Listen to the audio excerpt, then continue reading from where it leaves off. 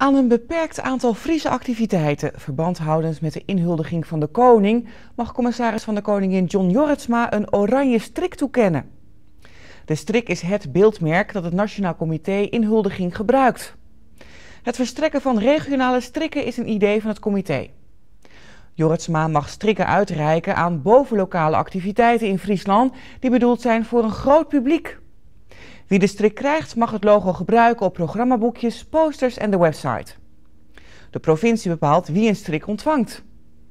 De uitreiking van de eerste provinciale oranje strik was dinsdagmiddag in het... Uh, jullie krijgen uh, uh, als initiatief, want dat weet ik wel goed, Martijn Kuiper en Danny Member van de Club Red uit Leeuwarden als eerste de, een oranje strik uitgereikt vanwege ja, jullie enthousiasme rondom het organiseren van het dansfeest op 30 april hier op de Oldoosterkerkhof.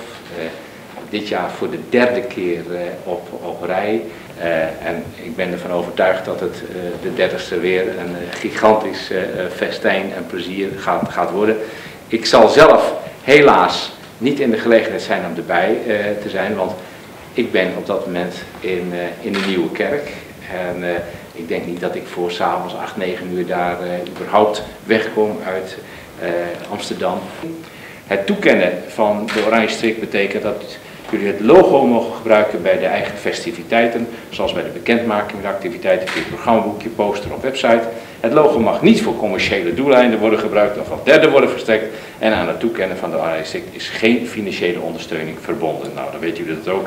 Namens het uh, Nationaal Comité Inhuldiging is getekend Hans Weijers, de uh, uh, voorzitter.